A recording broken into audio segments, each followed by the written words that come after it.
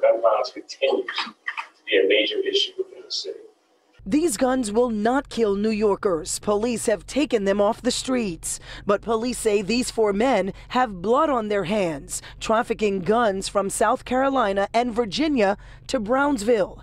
And after getting a tip about the ringleader, Montoun Hart, the Brooklyn DA and the NYPD sent in undercover officers to work the case. We've been working to identify, apprehend, and charge those who are responsible. Vernell Douglas, an MTA worker, is one of the men busted after a year long investigation called Operation Lonely Hearts Club. Investigators say Douglas was heavily involved, allegedly driving down south to purchase guns and selling them on the streets here in the city, even making deals as he was getting back to work in the middle of the pandemic, sending this text message wearing his MTA uniform, saying, Back at it. Shockingly, one of those men had a really good job, a trusted job, a sacred job.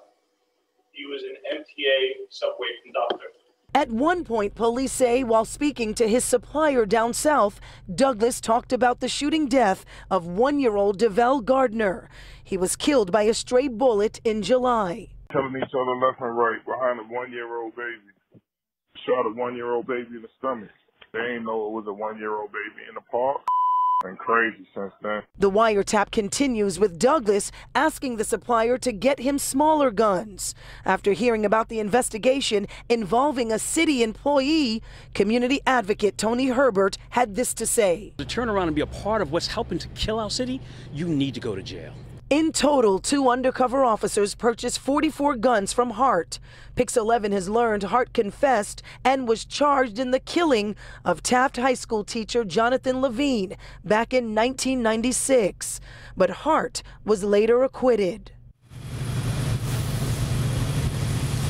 And police say Hart has been selling guns for years, so their investigation is far from over. They're still looking for more suspects. In the meantime, as for Douglas, the MTA worker, well, he posted bail, and the MTA said in a statement he's no longer in active service with that agency until further notice. For now, we're live in downtown Brooklyn. Nicole Johnson, Pix 11 News.